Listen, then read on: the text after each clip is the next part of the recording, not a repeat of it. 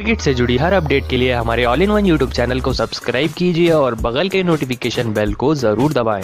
दोस्तों भारतीय टीम ने जीत लिया है दूसरा सेमीफाइनल मुकाबला इंग्लैंड को हराकर और भारतीय टीम प्रवेश कर चुकी है फाइनल में टी ट्वेंटी वर्ल्ड कप 2024 के साउथ अफ्रीका के साथ। तो समाप्त हो चुका है दूसरा सेमीफाइनल मुकाबला भारत बनाम इंग्लैंड के बीच में।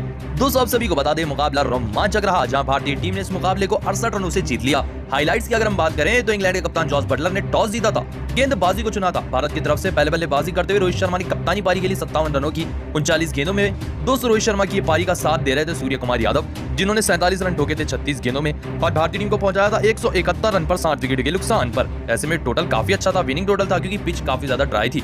जॉर्ज बटलर ने शुरुआत अच्छी दिलाने की कोशिश तो की, लेकिन जैसे उनके सामने स्पिन गेंदबाजी आई, वो एक्सपोज हो गए।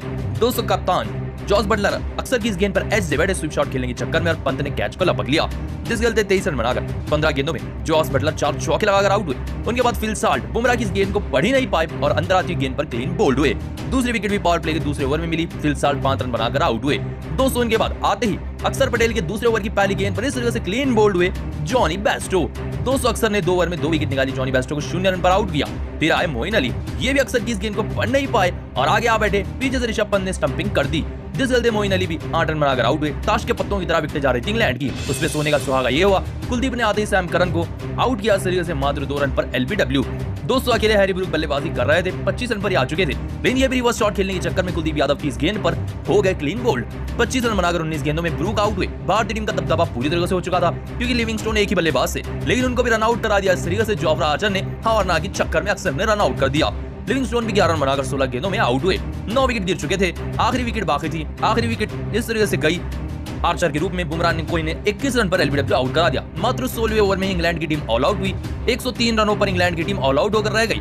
और अड़सठ रनों से भारतीय टीम ने इस मुकाबले को जीती। तो इसी के साथ अब साउथ अफ्रीका के साथ भारतीय टीम भिड़ने वाली है फाइनल मुकाबले में टी वर्ल्ड कप 2024 के सिर्फ़ दो दिन के बाद। मिलते हैं आपसे सीधा फाइनल मुकाबले में, तब तक लेते हैं आपसे अलविदा। लेकिन दोस्तों, आप भारतीय टीम की यादगार जीत को दस में से कितने नंबर देंगे कमेंट बताएँ। वीडियो पसंद तो लाइक करना चाहे सब्सक्राइब करें तो अगर आप भी सूर्य कुमार यादव को एक अच्छा खिलाड़ी मानता है तो वीडियो को लाइक कीजिए। इंग्लैंड बनाम भारत के बीच में टी ट्वेंटी वर्ल्ड कप 2024 का दूसरा सेमीफाइनल मुकाबला शुरू हो चुका है। दोस्तों बारिश के बाद मुकाबले को शुरू किया गया। बटलर ने टॉस जीता रोहित शर्मा के खिलाफ। बीच को देखते हुए गेंदबाजी को चुना। भारतीय टीम की तरफ़ से रोहित शर्मा व विराट कोहली सलामी बल्लेबाज बनकर आए। दोस्तों विराट कोहली ने आधे ही पहले तो तेज़ी में एक छक्का जड़ दिया था।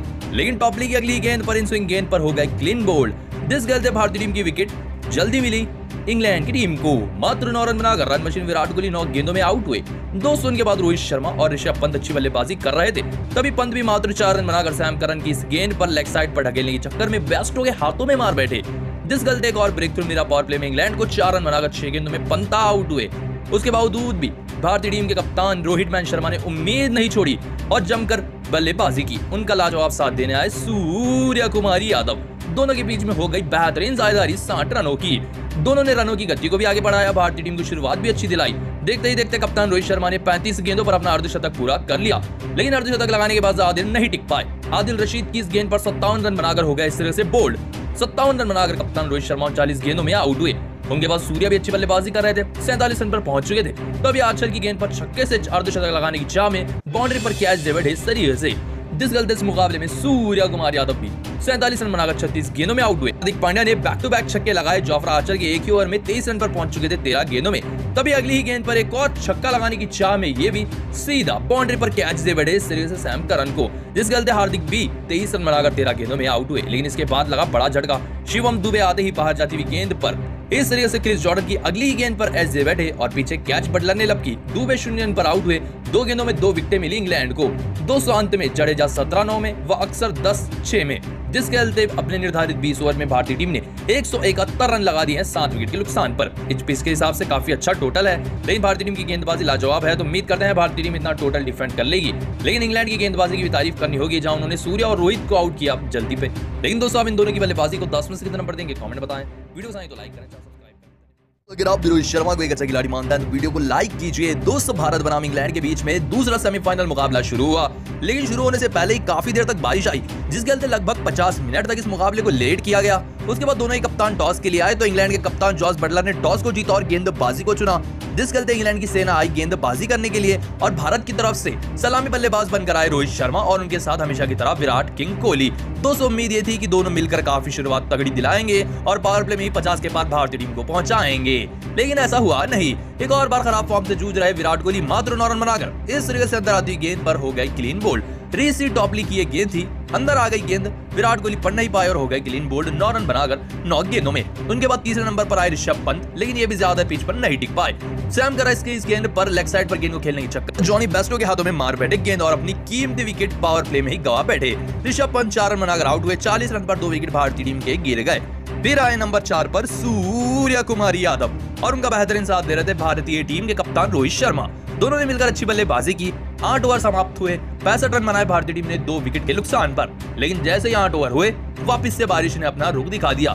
दोनों ही बल्लेबाज अच्छी बल्लेबाजी कर रहे थे। सूर्या ने तेरह रन जड़ दिए थे सात गेंदों में। रोहित ने सैंतीस रन जड़ दिए थे छब्बीस गेंदों पर।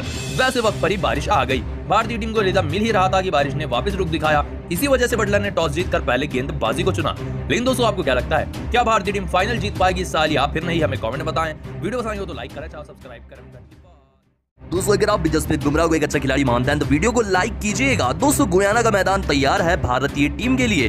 क्योंकि भारतीय टीम का महामुकाबला होने वाला है इंग्लैंड के साथ। जी हाँ दोस्तों, भारत बनाम इंग्लैंड के बीच में खेला जाने वाला है दूसरा सेमीफाइनल मुकाबला टी वर्ल्ड कप 2024 का। दोस्तों, ये जो मैदान देख रहे हैं, इसी मैदान पर होने वाला था आज का महामुकाबला, जो कि वेस्टइंडीज का गुयाना का मैदान है। लेकिन मैच शुरू होने से पहले ही बारिश ने अपना अंदाज मैदान पर शुरू कर दिया। और वो ऐसी मुझसे छोटी मोटी बारिश नहीं आ रही थी, काफ़ी ज़्यादा तेज बारिश आ रही थी। हालाँकि बीच में बारिश रुकी। राहुल द्रविड ने पिच को देखने के लिए इंस्पेक्शन भी इसके चलते भारतीय टीम अपना पहला प्रैक्टिस सेशन करने के लिए भी आई मैच से ठीक पहले, क्योंकि बारिश काफ़ी ज़्यादा देर तक आ रही थी। टॉस को लगभग 20 मिनट तक डिले किया गया। हालाँकि साढ़े सात बजे टॉस होना था, आठ बजकर चले गए थे। भारतीय टीम का प्रैक्टिस चालू हो गया। जसप्रीत बुमराह, विराट कोहली मैदान पर प्रैक्टिस करने भी आए, जिसमें विराट कोहली ने ताबड़तोड़ बल्लेबाजी की। तो वहीं जसप्रीत बुमराह ने प्रैक्टिस सेशन में ताबड़तोड़ गेंदबाजी भी की।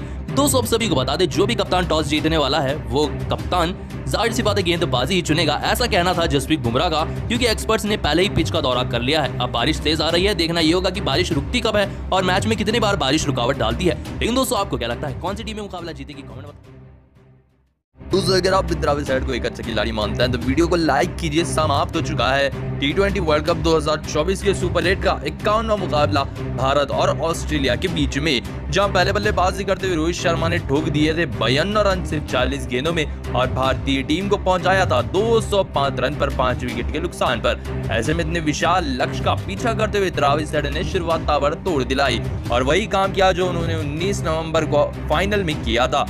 इस मैच में भी त्रावी सेट ने ताबड़तोड़ बल्लेबाजी की। इनकी बल्लेबाजी देखकर कप्तान रोहित शर्मा हैरान हो रहे थे। मैदान का ऐसा कोई नहीं को ना छोड़ रहे थे, या जहाँ उन्होंने बेहतरीन बल्लेबाजी का जलवा मैदान पर ना दिखाया हो।